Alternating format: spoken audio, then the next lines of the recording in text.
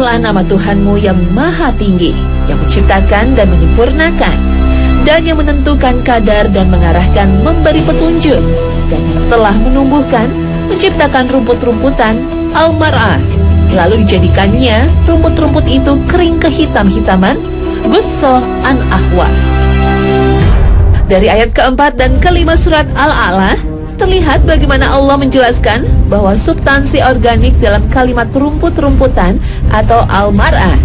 Ketika mati dijadikan Allah Subhanahu wa taala bercampur menjadi suatu cairan yang mengalir dan berwarna hitam gelap atau ahwa. Yang kita kenal dengan sebutan minyak bumi yang terbentuk di periode bumi awal.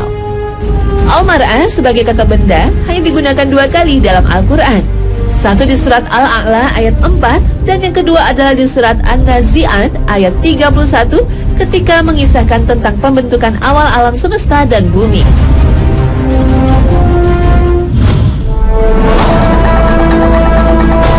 Kini, jutaan lampu menyumbang cahaya artifisial di permukaan bumi sebagai substitusi dari cahaya matahari yang hilang saat kembali ke peraduannya. Semakin banyak lampu, artinya semakin banyak energi yang harus dihasilkan. Konsumsi manusia terhadap energi terus meningkat sejak terjadinya revolusi industri. Dan peningkatan populasi penduduk di dunia berbanding terbalik dengan ketersediaan sumber energi fosil yang tersedia di alam. Akibatnya, terjadi krisis energi menjadi sebuah ancaman. Sumber-sumber energi dari bumi terus digali dan dieksploitasi, mulai dari pemanfaatan batu bara minyak bumi, gas alam, hingga tenaga nuklir telah dimanfaatkan untuk menopang kebutuhan energi dalam jumlah besar. Energi merupakan kebutuhan yang vital untuk kehidupan kita sehari-hari. Energi membantu kita memproduksi makanan, merupakan sumber tenaga transportasi, dan mendorong saluran komunikasi di seluruh dunia. Energi, air, dan sistem makanan dunia memiliki keterkaitan yang sangat kuat. Dalam hadis riwayat Abu Daud, Rasulullah mengingatkan, manusia itu berserikat bersama-sama memiliki dalam tiga hal, air, padang rumput, dan api. Dalam hadis tersebut, sumber energi tidak boleh dikuasai pribadi atau privatisasi, melainkan penyelenggaraannya harus dilakukan untuk kepentingan bersama. Namun semakin tingginya populasi manusia di bumi dan kebutuhannya akan energi mengakibatkan sumber daya esensial penghasil energi seperti minyak bumi semakin berkurang. Mobilitas manusia pun ikut andil sebagai penyebab. Tahun 2050, jumlah mobil di jalan diperkirakan akan naik tiga kali lipat, jumlah penerbangan penumpang dan barang pun semakin bertambah. Sementara cadangan energi fosil dunia kian menipis. Energi ini diperkirakan tidak mampu bertahan dalam jangka waktu yang tidak lama.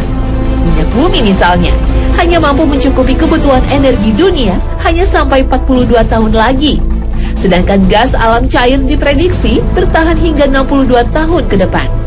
Salah satu cara untuk mengatasinya adalah mencari sumber energi terbarukan, di antaranya dengan memanfaatkan uranium untuk menghasilkan tenaga nuklir. Ketersediaan uranium dunia diprediksikan mampu memenuhi kebutuhan energi dunia hingga 3.600 tahun mendatang. Namun, pemanfaatan tenaga nuklir dan pengolahannya masih menimbulkan kekhawatiran Peristiwa kebocoran PLTN Fukushima beberapa tahun yang lalu atau peristiwa Chernobyl memberikan dampak yang buruk kepada lingkungan. Usaha pemanfaatan sumber energi yang lebih bersahabat dengan lingkungan mulai dilakukan.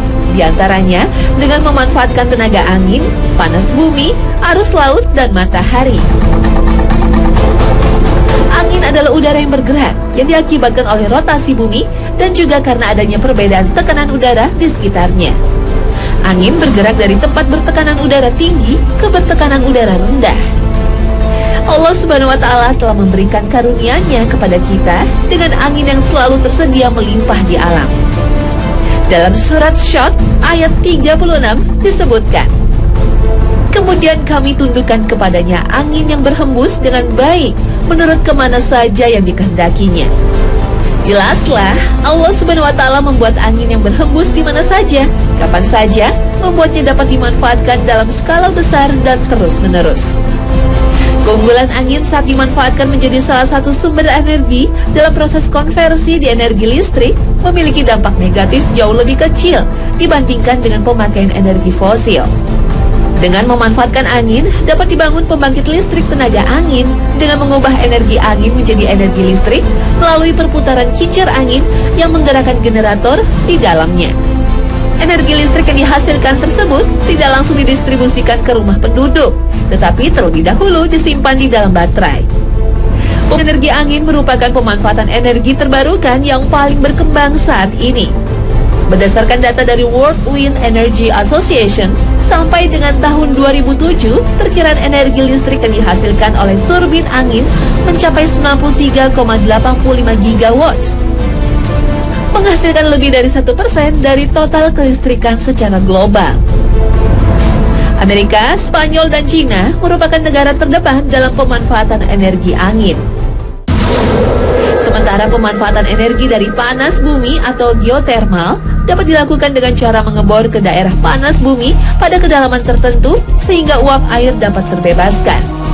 Kemudian dibuat sumur injeksi di mana air dingin dipompakan ke sumur.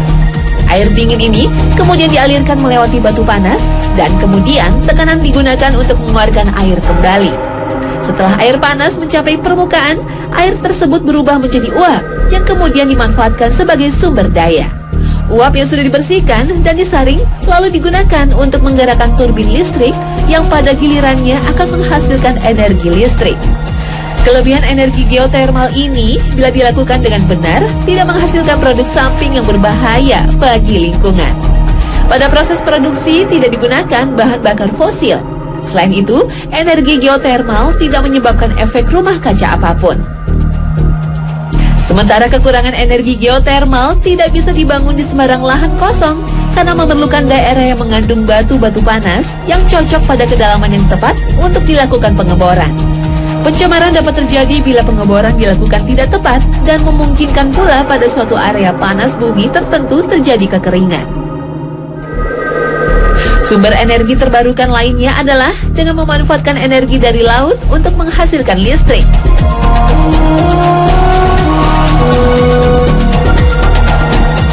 الله الذي سخر لكم البحر فضله ولعلكم تشكرون Dalam surat Al-Jasiyah ayat 12 tersirat bahwa Allah Subhanahu wa taala telah menundukkannya untuk kita, kemudian kita diminta untuk mencari sebagian karunia-Nya di sana. Salah satunya yaitu dengan memanfaatkannya sebagai sumber pembangkit energi listrik. Selain murah, karena relatif tidak mengalami fluktuasi harga di pasar global, energi listrik dari laut juga tidak memiliki keterbatasan pasokan. Pemanfaatan energi laut memiliki beragam keistimewaan. Selain dikenal ramah lingkungan, arus laut juga memiliki densitas 830 kali lipat lebih tinggi dari densitas udara. Sehingga dengan kapasitas yang sama, turbin arus laut akan jauh lebih kecil dibandingkan turbin angin. Terdapat tiga tipe potensi energi, yaitu energi pasang surut, energi gelombang laut, dan energi panas laut. Energi pasang surut merupakan energi yang dihasilkan dari pergerakan air laut akibat perbedaan pasang surut. Energi gelombang laut adalah energi yang dihasilkan dari pergerakan gelombang laut menuju daratan dan sebaliknya. Sedangkan energi panas laut memanfaatkan perbedaan temperatur air laut di permukaan dan di kedalaman. Selain energi laut, pemanfaatan sinar matahari sebagai sumber energi terbarukan lebih populer dikembangkan untuk menggantikan minyak bumi yang kian menipis. Pembangkit listrik tenaga matahari pun digunakan di rumah hingga yang terbesar di dunia seperti yang dikembangkan di Uni Emirat Arab dengan kekuatan 100 MW untuk 20.000 rumah. Pembangkit listrik panas matahari menggunakan sinar matahari untuk memanaskan cairan pada temperatur yang sangat tinggi. Cairan ini kemudian disirkulasikan melalui pipa sehingga dapat mentransfer panas ke air untuk menghasilkan uap. Kemudian diubah menjadi energi mekanik pada turbin dan dikonversi menjadi listrik oleh generator. Meskipun listrik tenaga surya merupakan sumber energi yang bersih, sel surya yang dibuang tidak ramah lingkungan. Sebagian besar sel surya yang digunakan untuk membuat sistem tenaga listrik untuk rumah mengandung zat yang sangat beracun yang dikenal sebagai kadmium yang dapat menyebabkan kerusakan lingkungan serius jika tidak dibuang dengan benar. Namun, energi surya adalah teknologi yang maju pesat, sehingga wajar bahwa kita berpikiran bahwa isu pencemaran kadmium ini akan teratasi. Meski banyak inovasi dimunculkan sebagai bentuk pencarian energi terbarukan, yang terpenting sebenarnya mengkonsumsi energi dalam batas yang wajar. Berhemat energi tentunya akan lebih bijak dan lebih bermanfaat bagi keberlangsungan hidup manusia. Seperti yang Allah Subhanahu wa taala peringatkan kepada kita yang tersirat dalam surat Al-An'am ayat 141. Innahu la yuhibbu musrifin. Dan janganlah kamu berlebih-lebihan. Sesungguhnya Allah tidak menyukai orang-orang yang berlebih-lebihan.